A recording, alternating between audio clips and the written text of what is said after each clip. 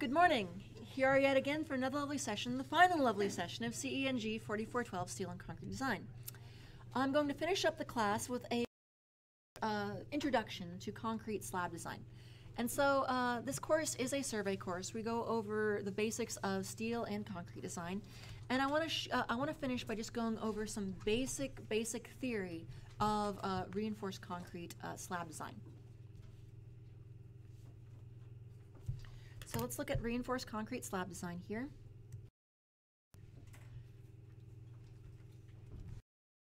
Slab design. And we need to review a couple terms first.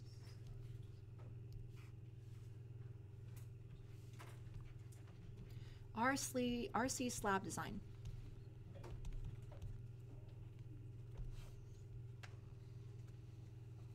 So slab design is, awful, is, uh, uh, uh, is obviously very important.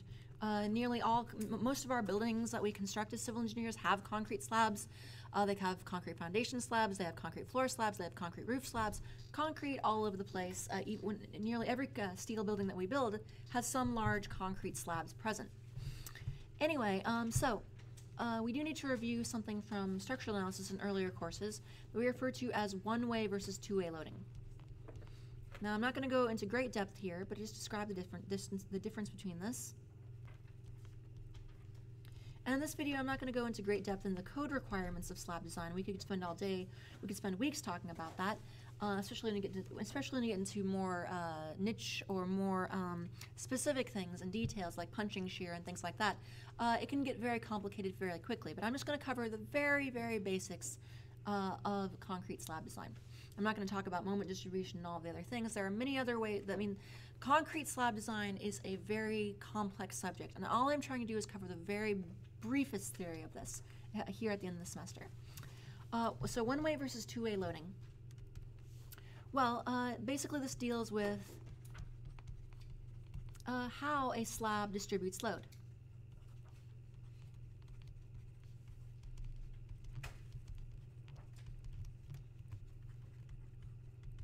So if you have a series of beams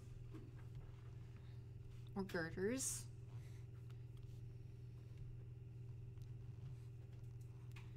so you say we have beams or girders around the perimeter of the square,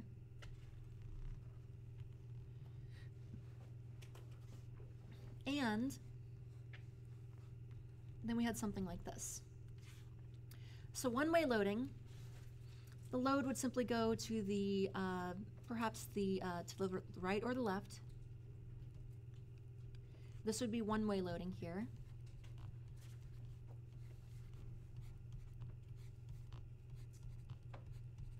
One-way loading.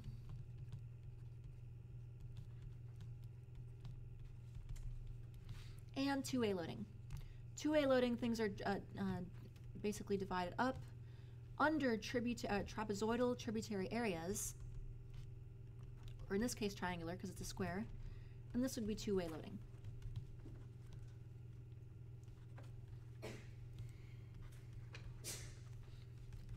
And we've seen this before in terms of how to design beams. This is, this is how we design our, calculate our loads for beams. But what about for the slab itself? What about for the slab itself?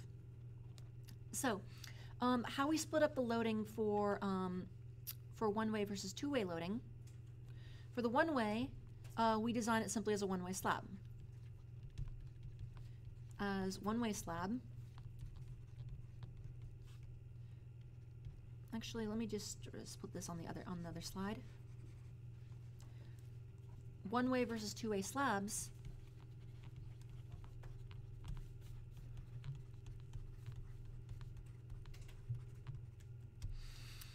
And so for a one-way slab, if we have our loading like this, and let's say you have, let's say we have major beams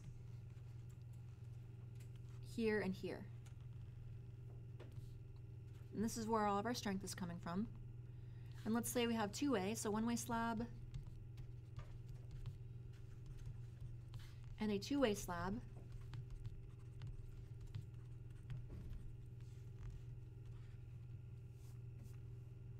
And let's say we had major beams along here. along all the uh, along all the periphery or along all the perimeter.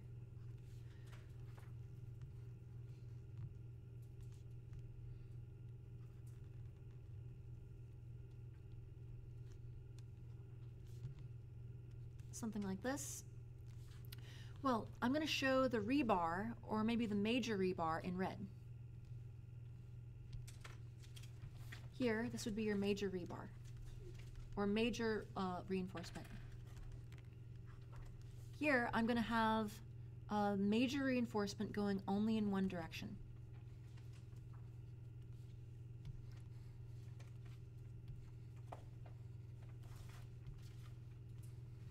And here I would have major reinforcement going in both directions.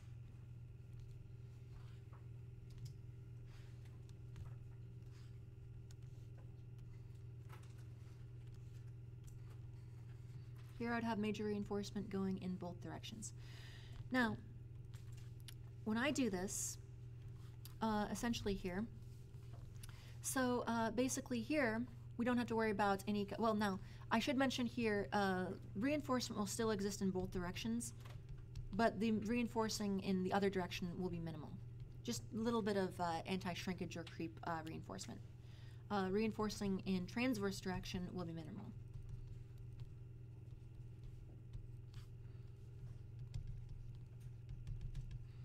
Uh, minimal.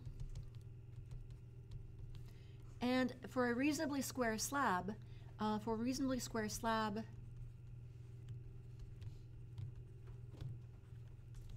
See, the problem with designing, uh, so here, this tricky thing about slabs is we really can't use tributary areas when we're designing slabs. That works for beams, but it doesn't necessarily work for slabs.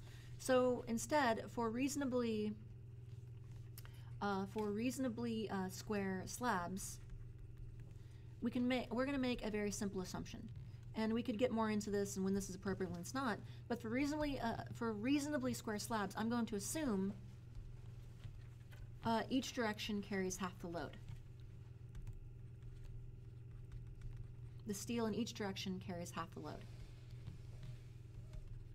If we do that, then even if that distribution is not ideal, is not correct, we should still have enough capacity in there to carry the total load. So maybe uh, load will seek out resistance if there, as long as there's enough total resistance there, the load can distribute it, uh, can distribute it, or the uh, steel can redistribute the load.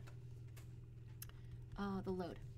So how do we actually go from, so we know, now that we know what a one-way and a two-way slab are, uh, how do we actually calculate this? How do we design these things? Well, what if I were to tell you a slab is nothing more than a very wide beam? A slab is nothing more than a very wide beam.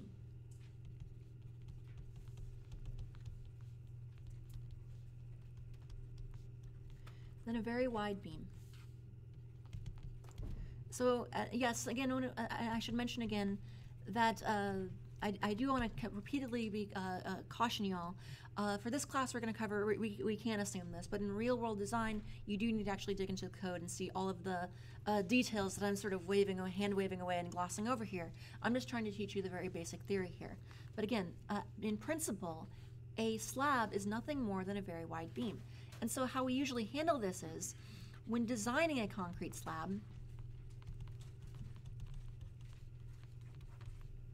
When designing or analyzing a concrete slab,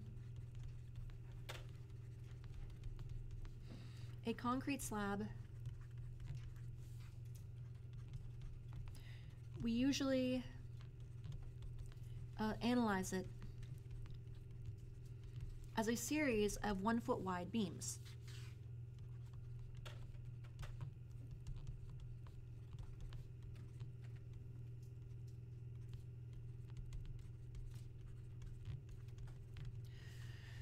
So for example, on a one-way slab,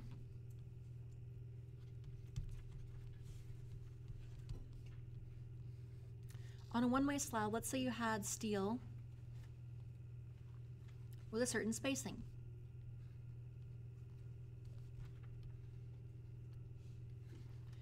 Rebars of a certain diameter and a certain spacing. What you would do is, you would calculate, basically calculate uh, uh, for, for analysis anyway, you calculate uh, the average reinforcing steel per foot of length. The average area of reinforcing steel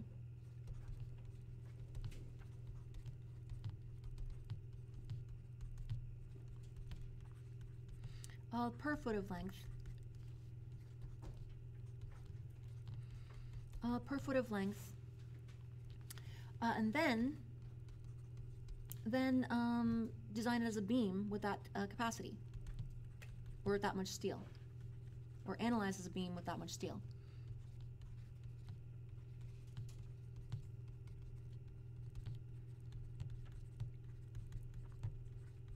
Design as a beam with that much steel. So for example, maybe I can look at a brief, uh, maybe I can throw together a very brief example here. Stand back, I'm going to try math. Anyway, well, not really, let's see. So here, where are we hiding?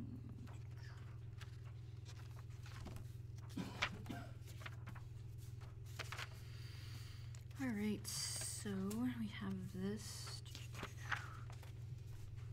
Yes. Okay, so I'm going to do a simple example to illustrate this.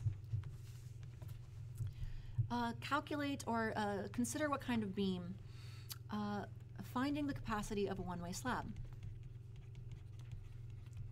This is more of a theoretical model again.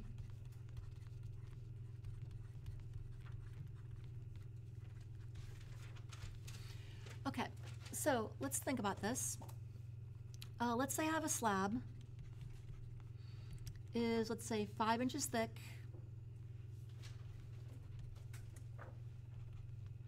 Uh, five inches thick with number nine rebar, uh, positioned 1.5 inches.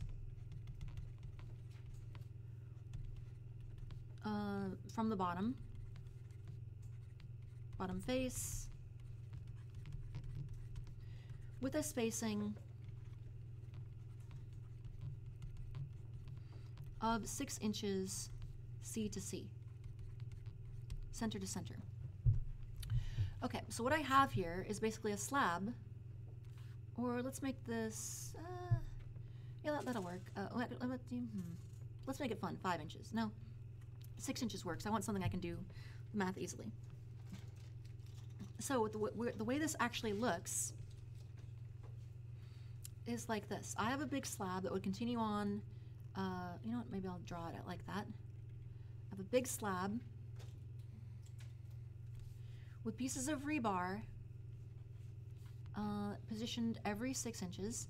The thickness of this would be five inches. And then I have number nine rebar, and it would be positioned maybe at the center, or in this case at the bottom, because I guess we're designing it for a simply supported or something like that condition. And I would have rebar positioned along here, six inches center to center.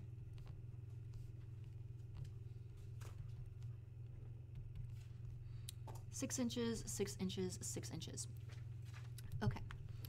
So six inches, six inches, six inches.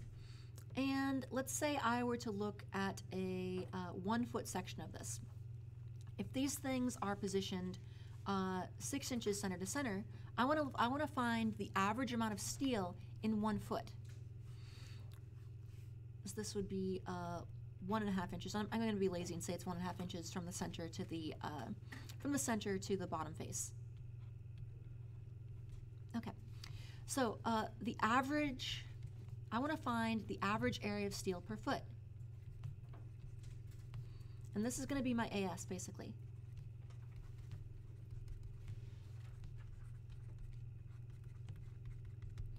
And since these are positioned six inches center to center, well, basically I have two bars per foot. Uh, no, two bars per foot because they're six inches center to center. They're six inches center to center. So, um, and if you you could work through the geometry to geometry to calculate this for any spacing. So uh, it's going to be two bars per foot here, times an area of one inch square. This is why I chose the uh, number nine bars. Uh, makes doing uh, examples easy. Uh, one inch square per bar. So basically this comes to two inches, two square inches of steel uh, per foot of slab. Now you would likely, it'd be very rare to use a number nine bar for a slab, that'd be quite ridiculous, but uh, anyway, it makes the calculations easy for a simple example problem. Uh, two inches of steel per foot of slab. So, how are we gonna then analyze this? When we design this, we are then gonna analyze this as a beam a reduced beam here, an interesting beam, that has a width of one foot, a depth of five inches, and an area of steel equal to, and then this would be, I guess, uh, that would be uh, 3.5 inches here. And the area of steel would be 2 inches squared. And that's it. And then we just analyze it as a beam. And basically, the way we would then handle this is uh, what do we check? Well, we check the um, find the load on a one foot wide strip of slab. On a one foot wide strip of slab,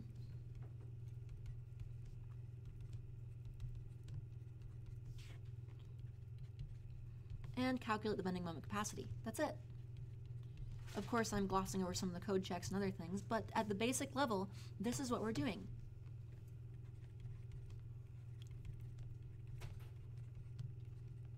Calculate bending moment, shear, etc. Then for two-way slabs, two-way slabs are very similar.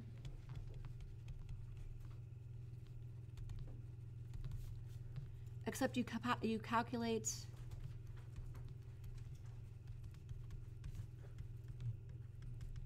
the allowable load on each direction, or the fact the allowable factored load in each direction.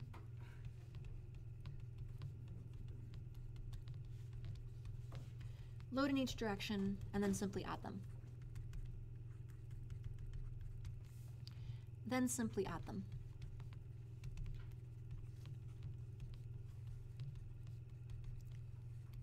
And that fundamentally is the very basic theory of slab design. You turn it into a series of beams, you transform it into a series of one foot wide beams, you calculate the capacity of those beams, and that's your allowable PSF essentially. Uh, all it is is transforming a, um, a area load into uh, foot wide strips and then calculate your capacity therein. All right, that'll do it for an introduction to uh, beam for uh, to slab design. Uh, and as always, uh, thank you.